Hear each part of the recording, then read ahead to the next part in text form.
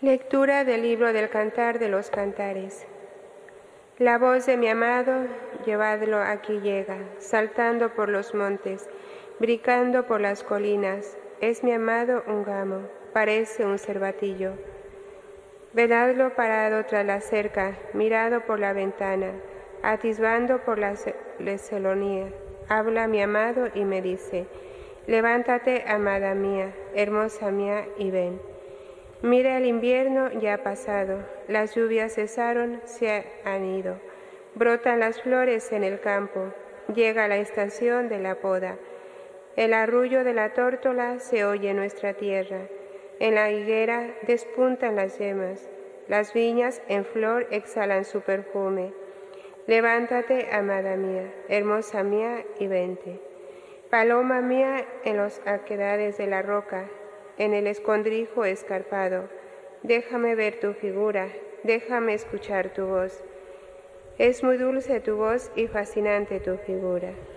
Palabra de Dios. Es grande en medio de ti el Santo de Israel. Es grande en medio de ti el Santo de Israel. Él es mi Dios y Salvador. Confiaré y no temeré porque mi fuerza y mi poder es el Señor, Él fue mi salvación. Y sacaréis aguas con gozo de las fuentes de la salvación. Es grande en medio de ti el Santo de Israel. Dad gracias al Señor, invocad su nombre, contad a los pueblos sus hazañas, proclamad que su nombre es excelso. Es grande en medio de ti el Santo de Israel. Tañed para el Señor que hizo proezas, anunciadlas a toda la tierra. Gritad jubilosos habitantes de Sión, porque es grande en medio de ti el Santo de Israel. Es grande en medio de ti el Santo de Israel. Aleluya, aleluya, aleluya. Bienaventurada tú que has creído, Virgen María porque lo que te ha dicho el Señor se cumplirá. Aleluya, aleluya, aleluya.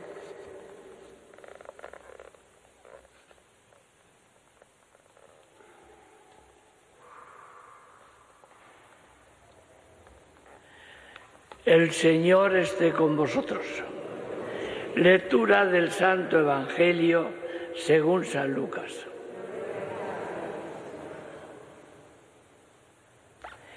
En aquel tiempo María se, levantó y se puso en camino de prisa hacia la montaña, a una ciudad de Judá. Entró en casa de Zacarías y saludó a Isabel. Aconteció que cuando Isabel oyó el saludo de María, saltó la criatura en su vientre. Se llenó Isabel del Espíritu Santo y levantando la voz exclamó, Bendita tú entre las mujeres y bendito el fruto de tu vientre. ¿Quién soy yo para que me visite a la madre de mi Señor? Pues en cuanto tu salud llegó a mis oídos, la criatura saltó de alegría en mi vientre. Bienaventurada la que ha creído, porque lo que te ha dicho el Señor se cumplirá. María dijo, Proclama mi alma la grandeza del Señor. Se alegra mi espíritu en Dios mi Salvador, porque ha mirado la humildad de su esclava. Desde ahora invitarán todas las generaciones, porque el poderoso ha hecho obras grandes por mí, su nombre es santo, y su misericordia llega a sus fieles de generación en generación. Él hace proezas con su brazo dispersa a los soberbios de corazón, derriba el trono a los poderosos y enaltece a los humildes. A los hambrientos los colma de bienes y a los ricos los despide vacíos. Auxilia a Israel su siervo, acordándose de la misericordia como la había prometido a nuestros padres, en favor de Abraham y su descendencia por siempre. María se quedó con Isabel unos tres meses y volvió a su casa. Palabra del Señor.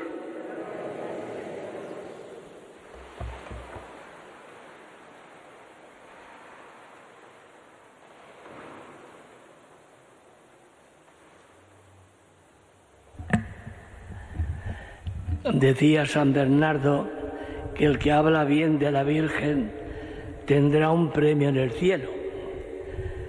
Como yo sé que por la vida normal no me voy a salvar porque soy un desastre, por lo menos intento hablar bien de la Virgen para que me dé un, un pequeño premio el día de mi muerte. Por eso todos los sábados que puedo celebrar la misa de la Virgen aprovecho para hablar de las maravillas de la Virgen Nuestra Señora.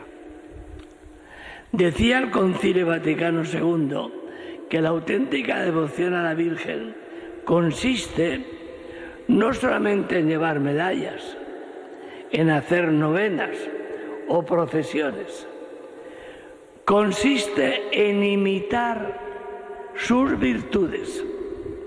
En eso consiste la auténtica devoción a la Virgen. El Evangelio habla muy poco de la Virgen María. Este texto que termino de proclamar de la visitación de la Virgen es un texto para contemplar y para imitar. Tenemos que contemplar de rodillas este misterio. Dice el texto, la Virgen se entera por el ángel que su prima es una anciana y va a tener un hijo. Y dice el texto, salió corriendo, salió deprisa por los montes para llegar a la casa de Isabel. Primera lección que nos da la Virgen. No hay que esperar que nos llamen. Hay que salir corriendo para servir a la gente que más lo necesita. Siempre estamos protestando. Como no me he enterado, como no me han llamado, como no me han dicho nada, esas son excusas. La gente, como la Virgen, que tiene un corazón lleno de amor, se entera de las necesidades y va a prisa a servir a su prima. Y está con ella, termina el Evangelio, tres meses sirviendo a su prima ancianita, que va a ser madre de Juan Bautista. Segunda idea preciosa que me encanta de este Evangelio. En cuanto María llegó a casa de Isabel, Isabel reconoce lo que hay en el vientre de María. Fijaros. Cómo la madre de mi Señor viene a visitarme. Lo que la Virgen había engendrado por obra del Espíritu Santo era el Hijo de Dios. Era el Señor que había prometido en el Antiguo Testamento enviar al Mesías. Isabel reconoce la fe de María y reconoce quién es el que está en el seno de la Virgen María. Es muy importante, tener fe y descubrir lo que Dios hace en otras personas. Hay que descubrirlo. Tercera idea que me encanta. Dice, el niño Juan Bautista saltó de alegría en el vientre de Isabel porque llegó María embarazada. La Virgen lleva la alegría a aquella casa lleva la alegría. Hermanos, hay que llevar la alegría cuando vamos a visitar a alguien. A veces hay gente que dice, a ver si se va este pesado o esta pesada, porque no hay quien la aguante. Hay que llevar alegría a las visitas, como llevó la Virgen. La alegría de sembrar paz, de sembrar ternura, delicadeza en toda aquella gente. ¿Qué hizo María? Se puso a rezar. No olvidéis que el Papa Francisco nos ha convocado este año 24 para que recemos con más insistencia y más devoción y recuperemos la oración mental, la oración vocal, la oración del cántico y la oración litúrgica. El Papa nos invita al año de la oración. Y aquí tenéis un ejemplo precioso de la Virgen rezando. ¿Cómo se pone la Virgen a rezar? Te doy gracias, Señor, porque lo que has hecho en mí es obra tuya. A la oración vamos a descubrir a Dios y a poner a Dios en el lugar que le corresponde. Me habéis escuchado muchas veces que uno de los grandes dramas de nuestro mundo de hoy es que la cultura, hoy muy bien organizada y muy bien pagada por los enemigos de Dios y de la Iglesia, han sentado a Dios en el banquillo y le acusan al Dios cristiano de ser el Dios que no acepta la libertad, que no acepta el progreso, que no acepta el amor, que no acepta el eros, que no acepta el avance de las ciencias, que no acepta el amor y la entrega a los demás. Y yo me pregunto, ¿de qué Dios hablan? ¿De dónde se sacan esta gente esas ideas de Dios? Yo el Dios que he descubierto en mi niñez, en mi familia y en mi catequesis y después de estudiar en teología es todo lo contrario. Mi Dios es el Dios de la alegría de la Virgen. Es el Dios que da libertad. Dios no obliga a la Virgen a que sea su madre. Dios es tan humilde que la pide el favor a la Virgen que si quiere ser su madre. Es el Dios de la ternura, el Dios de la misericordia, el Dios que nunca nos deja solos, el Dios de la parábola del Hijo pródigo que todos los días en la terraza nos está esperando que volvamos a su casa. Por tanto, la oración es poner a Dios en el centro de nuestra vida. Cuando el mundo quiere rechazar a Dios y quiere quitarle de la sociedad, ¿sabéis quién es el que más pierde? Las personas. No podemos vivir sin Dios. No podemos avanzar sin Dios. No podemos ser felices sin Dios. Es el único que nos da la alegría, que nos da la libertad y nos da la vida. No hace falta ser muy inteligentes para descubrir cuando Dios desaparece la catástrofe de nuestro mundo de hoy. ¿Qué más dice la Virgen en este cántico que llamamos del Magnífica, que rezamos los sacerdotes, religiosos, laicos, todas las tardes en las vísperas, terminamos con el Magnífica?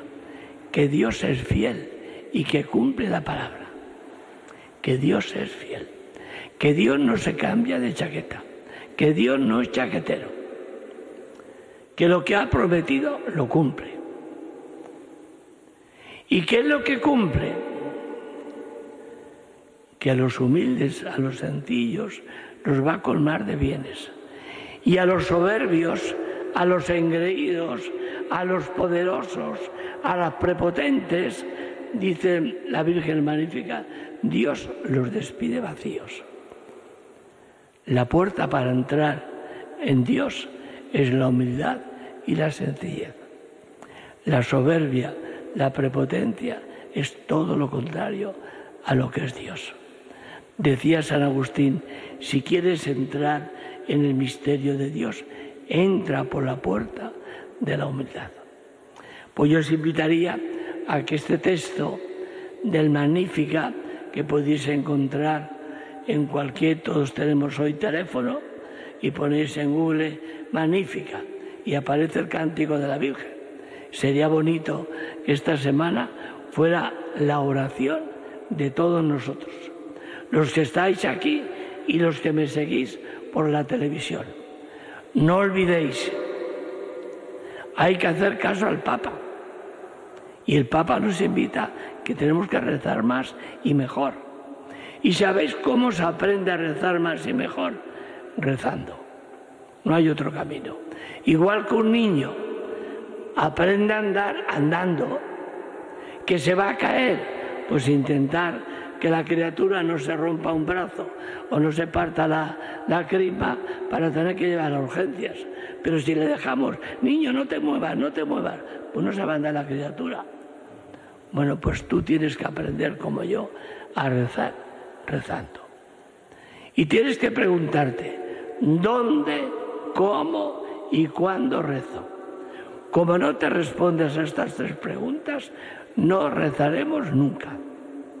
Vamos a pedírselo a la Virgen para que ella nos ayude a rezar como ella rezó. Thank you.